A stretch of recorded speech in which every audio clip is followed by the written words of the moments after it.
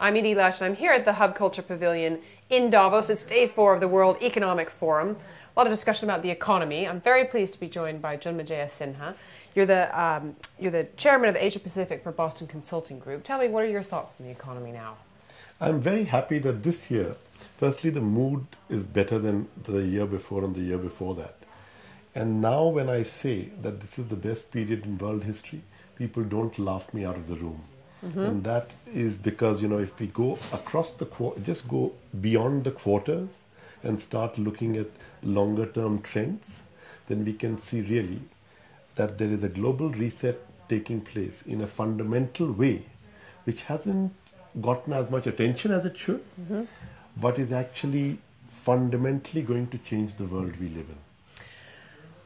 Do you think that that's well? Tell me first of all about how about some of those about those elements. So, firstly, you know this is the most peaceful time in human history. Mm-hmm.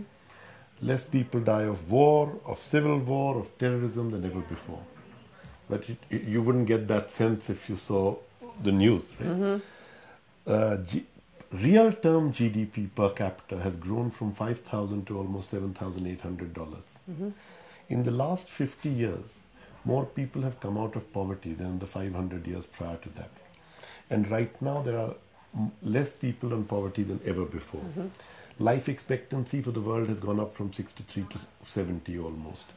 And, you know, in, in 2010, 2.8 billion people used to consume $3.1 trillion. In 2020, 3.1 trillion people, these 2.8 uh, mm-hmm. will become 3.1 billion, and they will consume 14.5 trillion. So that's an increase of 11 trillion dollars, mm-hmm. and much of it is happening in my neck of the woods. Yep. And so after 200 years, you take long strands, 1800 to 1900, 1900 to 2000, and then from 2000 till about 2100, the world's going to reset. And what's happening is actually it's becoming a fairer world. So in 1800, in 1820, actually China and India were 50% of the global economy. And in 2040, it'll again be the same. And this doesn't mean that anyone loses. Actually, the opportunities are much greater. Because just imagine, there is $15 trillion of incremental consumption which is coming about in Asia, which people have to serve. But they have to learn to serve it. It's hard and it's different and people are complaining about the past, but they are not looking seriously into the future. Do you think we feel uh, what a good place we're in? I mean, certainly from sitting in London, it feels dismal. I mean, I imagine that we're, we're, sitting, we're coming from very different places, but for a quality of life perspective, for example, people feel like they're much worse off than they were. So, you know, if I, if I divide it into three swathes, mm-hmm. the US, Europe, and the rest. Mm-hmm. And maybe I add a bit of Japan into the Europe part, mm-hmm. right? Then you look at it depends on what you're looking at. So I believe, unfortunately, and not so much England, but certainly France, a lot of Europe is becoming about preserving, mm-hmm. not about creating and destroying, you know.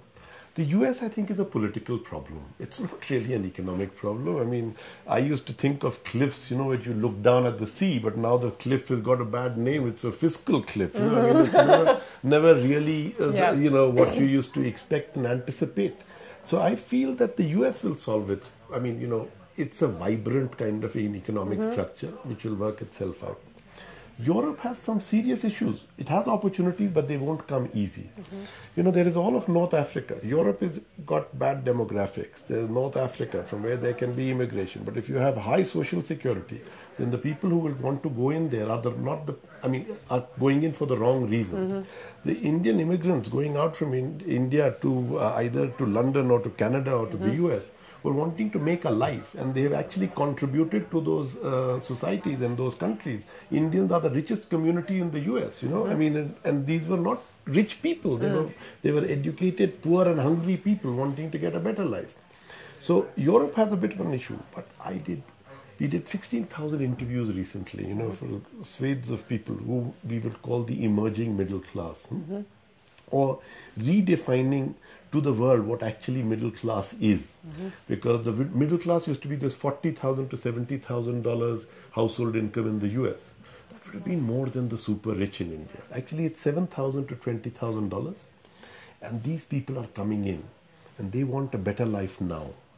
And they are not much bothered about governments. They just want a better life now. And they really want the middle class dream, which is, you know, a house and some education. Healthcare will come a bit later. Right now, they just want those things. And they are striving hard to get it and they are seeing an opportunity to get it because they are moving towards that. And this is going to be an engine, you know, and it's going to take us back to 1800s rather than 1900. Because if you look at, uh, the, I mean, from post World War II, every country in the world, every company in the world wanted one thing the American consumer's wallet. That's it.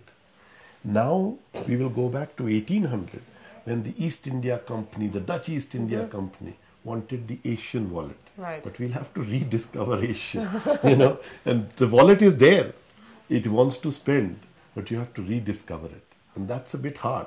But it's there, and it will be a great opportunity. So actually, the best is yet to come. I mean, I would, uh, yeah. So let me reset that a bit. It is firstly a better time than ever before, but the best is yet to be. So when when are you predicting that we're going to see even better? So you know, it's going to be an uh, it's going to be an accelerating trend. 2020 will be better than 2010. 2030 will be better than 2020. And I'm talking about 7 billion people, not about 700 million people. Right. And if we talk about 7 billion people, the world is going to be better. For the 700 million people, if they are willing to explore and if they are willing to reset and find that, okay, fine, you know, it's easier to sell in the US, but now we have to sell to this Indian who doesn't quite look right and doesn't mm-hmm. quite feel right, but actually has money and wants to buy. And then pe- people will discover it. You know, people like to make money and they will go where the money is. But it'll take a bit of time to reset. And just now we are overwhelmed by what I would say, and I say this humbly, by the fact that the global opinion is still formed by the Economist, the Financial Times, the Wall Street Journal, the New York Times, the B- CNN, the BBC. But you know, they need to, the Economist gives two pages to China, six pages to Britain, and every so often Yeah. half a page to India. Right. I don't know. This doesn't sound right to me. we'll leave it there. Thank you so much for coming by the Hub Culture Pavilion. Absolutely fascinating. And I'm Edie Lush. Thank you so much.